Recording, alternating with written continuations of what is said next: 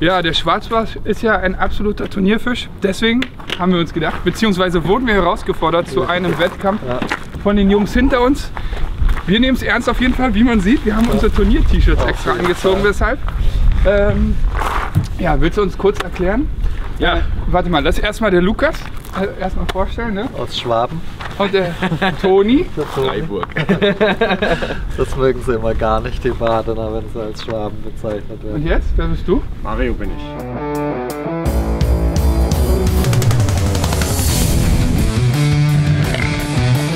So muss der Daumen aussehen. Rau, aufgeraut.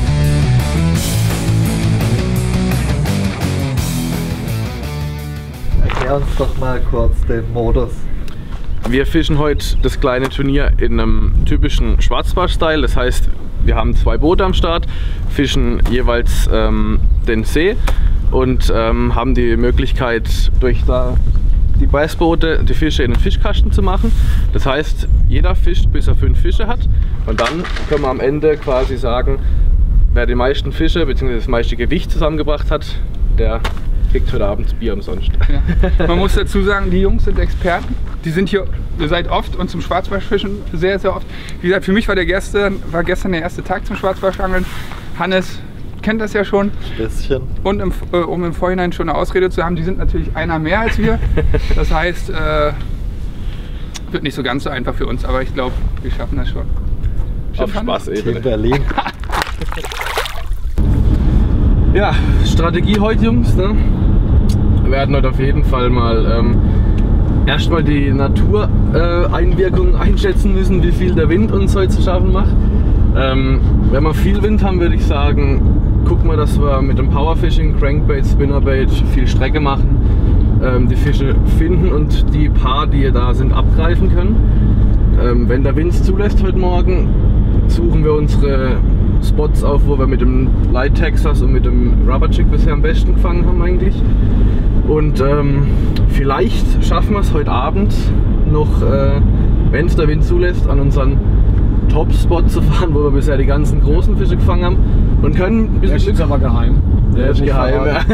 Und können dann mit ein bisschen Glück aber auch eventuell eine richtig schöne Bombe noch nachlegen. Vielleicht, wenn alles geil läuft, sogar noch ein schöner 2 Kilo Fisch, um die Bag nochmal richtig schwer zu machen für heute Mittag.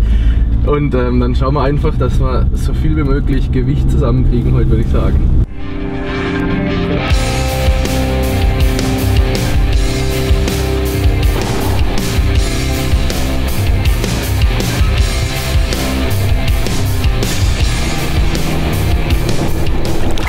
Ja, Hannes ist auf jeden Fall der Barsch-Erfahrenere von uns. Und deswegen probiert er immer ganz viel und das ist auch für die Turniere super. Heute Tube und Texas Rig und ich bleibe ganz klassisch bei, also ganz klassisch, für mich klassisch, ähm, bei einem ähm, Rubber. Jig, Und deswegen, weil ich gestern ganz gut darauf gefangen habe. genau. Und ähm, weil ich für die Bestellung und die Orga zuständig bin, Jeder hat so seine Aufgabe. genau, habe ich vorher nochmal groß bei Camo Tackle eingekauft und werde dem Dustin jetzt einen Bestand an Rubber Chicks aushändigen, mit dem er locker über den Tag kommt. Nämlich eins, zwei, drei, Sind das halbe? ja, 15 Dinge. Und 20 hast du mir versprochen. 20 habe ich ihm versprochen, aber ein bisschen was behalte ich dann doch ein, weil ich gestern ganz schöne Verluste habe. Also ich bin mit 40, 40 habe ich bestellt, 10 habe ich mir glaube ich noch privat mitgebracht und gestern habe ich schon 7 verballert, ey, teilweise in aufeinanderfolgenden Würfen. Sehr schmerzhaft. Schwarz und Chartreuse, darauf habe ich gestern den großen gefangen.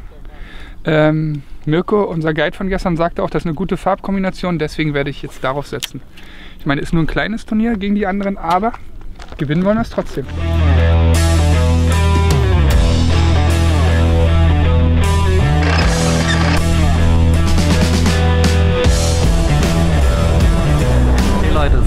10 Uhr. Die Competition geht bis 18 Uhr, also 8 Stunden.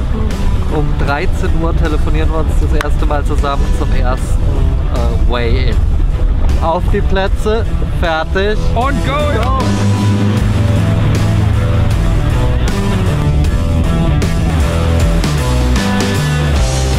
Okay, es sieht so aus, als hätten beide Teams den gleichen Plan, nur dass wir äh, vorfahren, prinzipiell nicht der schlechteste Weg ist. Oder? Das denn? Ja, warum schreist du mich so an?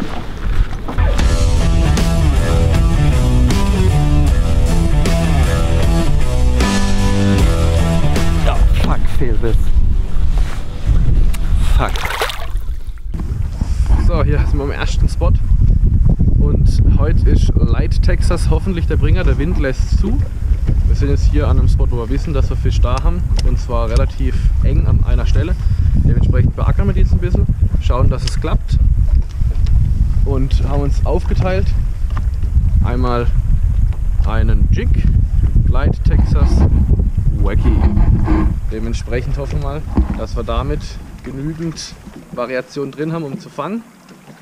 Und ähm, melden uns hoffentlich gleich mit dem ersten Fisch.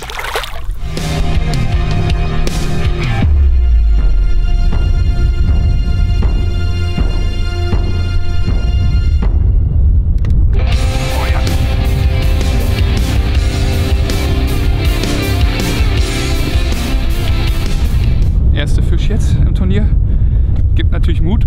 Totalen Fehler gemacht. Der hat direkt unter der Rutenspitze gebissen. Und ich habe direkt angehauen. Und macht man natürlich nicht beim Schwarzbarschangeln, aber ich habe Glück gehabt. Und der Fisch hing. Ja, das ist jetzt hier unser erster Schwarzbarsch für heute. Hannes hat gerade schon viel Biss gehabt. Die Jungs sind da. Wir sehen, die haben noch nichts gefangen. Das heißt, wir sind schon mal gar nicht so schlecht im Rennen. So, der kommt in die Live-Well und dann geht's weiter.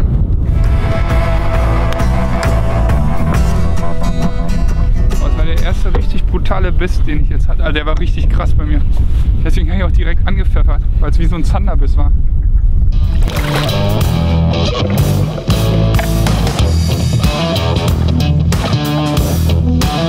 First Fish of the Day. Schöner Spinnerbait-Fisch. Plan ist aufgegangen. Wir haben jetzt einen großen Felsen unter Wasser aufgesucht. Spinnerbait und Crankbait schön dagegen tocken lassen. Und da ist das Resultat. Zweiter, dritter Wurf. Statt größer Spinnerbait, schöner Bass.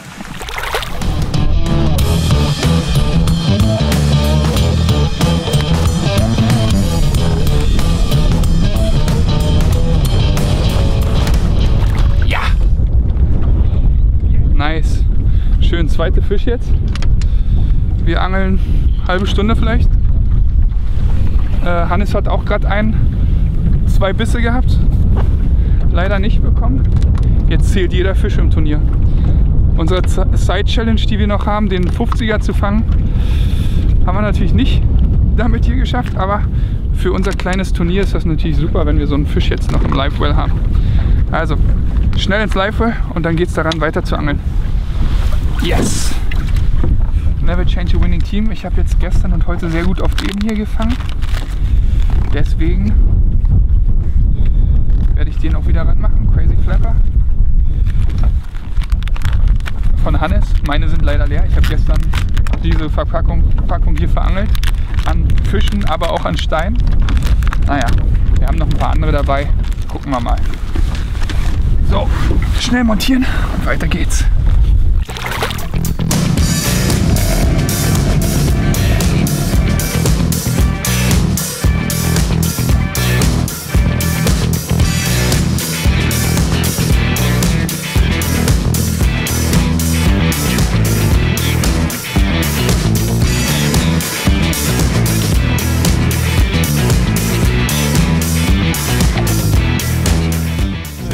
So Boys, wir haben jetzt unseren Big Fish Spot ausgefischt.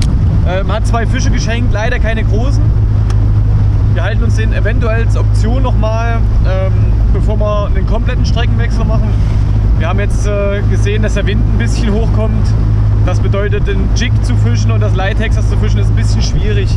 Ähm, von daher haben wir uns entschieden, dass bei Wind immer gut ist, Spinnerbaits zu fischen, Crankbaits zu fischen, die Powerfishing-Nummer durchzuziehen. Dass wir das jetzt äh, von einem Spot machen, wo äh, der Lukas die Woche auch schon Fisch gefangen hat. Den haben wir die ganze Woche nicht beackert, extra für heute. Und jetzt schauen wir natürlich mal, was da noch so passiert. Ne? Vollgas, siehst du, Männer, Feuer frei.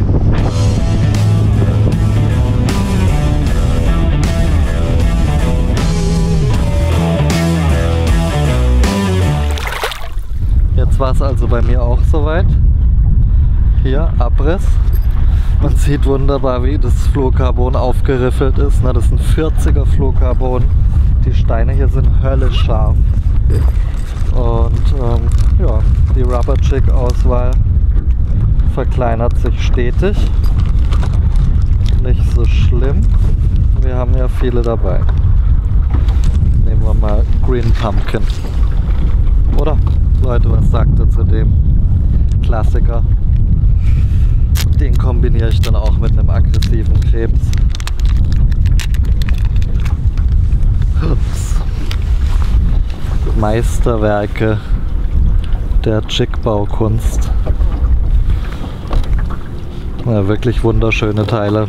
Tut echt weh, wenn du da eins nach dem nächsten versenkst.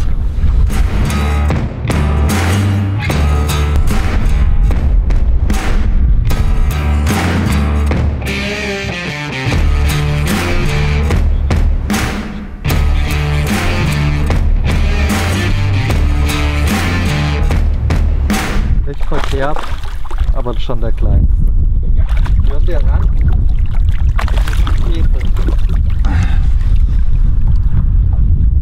Yes, Hannes. Auf die Tube. Hannes mit der Tube. Ich sag ja, Hannes ist der Mann für, für Experimente und beschert uns den dritten Fisch. Eine Rakete. Manometer. Aber jeder Fisch zählt. Ich meine, ich habe jetzt echt, glaube ich, ähm, ich habe den. Ich tue ihn jetzt mal in die live bevor ich rumquatsch. Das war jetzt mein vierter Biss, Mann, ey. Drei auf die Tube, einen auf dem Texas Rig mit einem Wurm. Da hing der Fisch. Der war aber nur so groß, insofern verschmerzbar. Aber die zwei ersten haben schon genervt.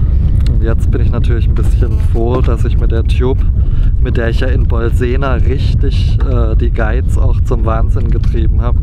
Die haben danach erstmal alle Tubes eingekauft. Sieht so, so fertig aus, der Köder.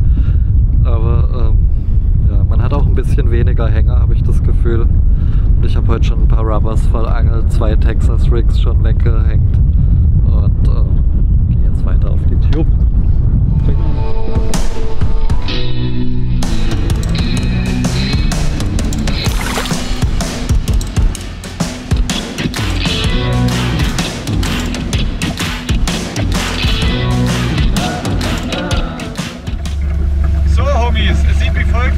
Wir haben leider an unserer gewünschten Stelle nicht nochmal ein, zwei Bisse sehen können.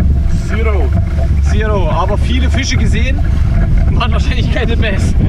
Ähm, ja gut, wir machen jetzt das, äh, ja, was man Root Water Driving nennt. Wir machen jetzt richtig hart über den See drüber. Ähm, die Welle steht wirklich voll drauf. Es wird ein lustiger Ritt. Aber wir wollen an den Spot, wo wir wissen, dass da Fisch steht. Und äh, so mit dem Johannes und dem Dustin ähm, ein bisschen Konkurrenz bieten. Natürlich ein bisschen Konkurrenz zu bieten. Genau, der Mario sagt es schon. Ja, Boys, dann drückt uns die Daumen. Vielleicht kommt noch was. Das sind gute Dinge.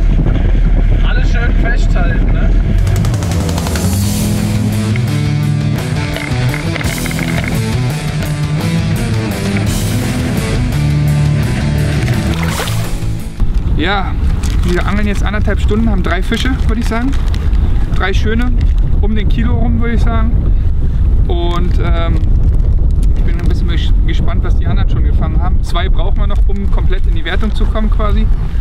Ähm, du hast schon ganz schön viele abgeschickt, ne? also Fehlbisse gehabt, vier Stück. Ich habe glaube ich nur zwei Fehlbisse gehabt. Fehlbisse, Fehlbisse drei. Drei. Aber man weiß es ja gar nicht, ey. man merkt ja so viel Ja. nicht.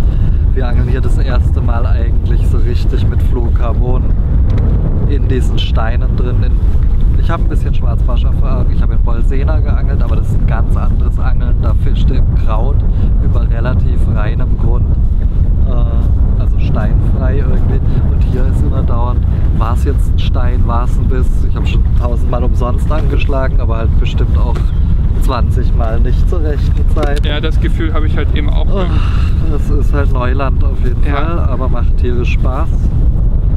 Und äh, Ja, es macht echt so viel Spaß, ne? weil es halt eben was Neues ist. ist. Also man angelt hier auch ganz anders. Ne? Also ich angel sonst auf Zander, Hecht und so immer relativ aggressiv, auch auf Barsch. Hier schleife ich den Köder ja wirklich ja. fast nur über Grund. Und äh, ja, man merkt richtig, wenn Steine kommen, dann schleift man den so rüber. Und oft ist es so, wenn man den über den Stein geschliffen hat und er hinter dem Stein runterfällt, der, der Jig oder, oder eben das Texas Wick, dann kommt der Biss. Das hat uns der Guide gestern auch gesagt, die stehen halt echt extrem an der Struktur. Gestern hatte ich auch einen Fisch, der hat irgendwie unter einem Stein gestanden oder so. Der hat sich den Köder gepackt, uns direkt wieder zurück in seine Höhle, hatte den dran, hab gemerkt, oh Stein, dachte erst ist ein Riesenfisch und dann meinte der Guide aber, hey, der ist unter den Stein geschwommen, du musst ihn jetzt irgendwie da rauskriegen. Hat dann auch geklappt, aber das ist echt was Neues und macht un unglaublich viel Spaß. Oh.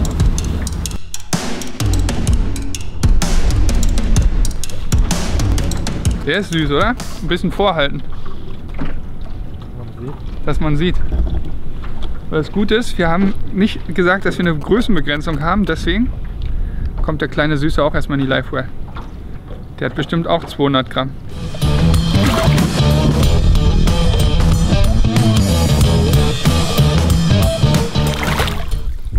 So, ist der nächste gute Fisch auf dem Spinnerbait im Kescher. Wir haben einen Spot gefunden, den wir auch schon kannten von den letzten Tagen, wo relativ viel äh, Unterwasserstruktur ist. Und genau diese kommt jetzt auf 9 Metern in der Mitte bis zu anderthalb, zwei Meter hoch. Und diesen Spot befischen wir quasi von Entfernung äh, mit Crankbait. Bei ihm jetzt das Spinnerbait. Chartreuse Farbe. Genau dieser Kollege, der läuft.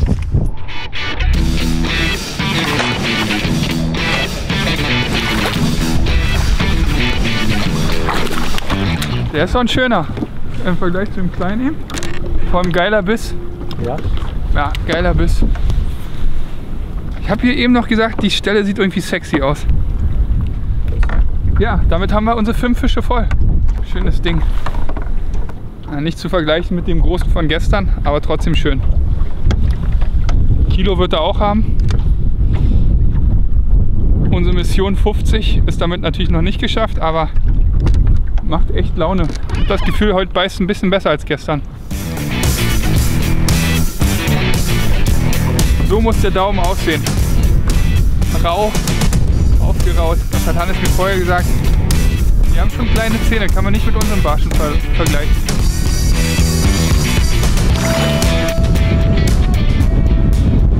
So, nächster Fisch. Taktik geht wieder auf, auf den Jig. Dieses Mal. Kleiner, aber Kleiner, aber Fisch.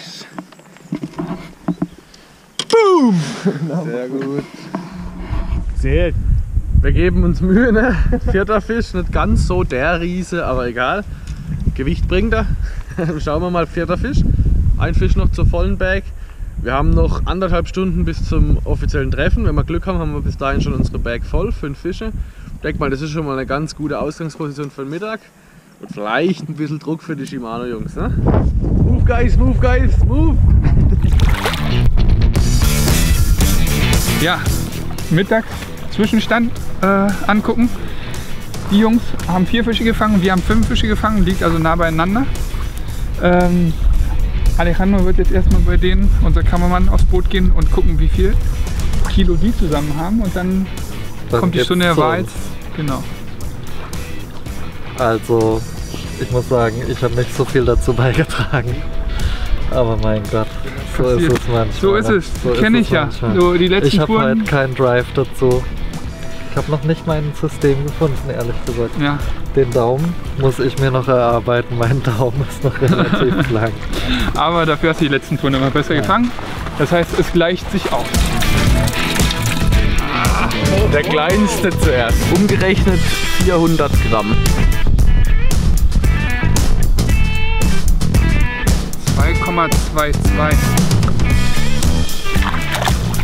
Tja Jungs, das sieht ja schon mal ganz gut aus, allerdings nur für euch. Ihr habt mit fünf Fischen definitiv auch mehr Gewicht als wir. Ähm, ich habe es schon mal kurz zusammengerechnet. Unser Gewicht liegt in Summe bei 1,61 Kilogramm allerdings umgerechnet. Und das Gewicht von Team Shimano Berlin liegt bei 3,27 Kilogramm. Also um einiges mehr. Ja, jetzt führen wir halt relativ deutlich. Äh, aber der Schwabe ist ein starker Angler, das wissen wir ja. Und der kommt hinten raus noch ganz gewaltig. äh, insofern müssen wir jetzt auch ein bisschen Gas geben noch. Vor allem ich. Ich darf auch mal noch ein paar Fische ähm, zulegen, hoffe ich. Und ähm, Du fängst ja, den großen gleich. schauen wir mal. Ich bin guter Dinge, dass da noch ein bisschen was kommt. Thank you.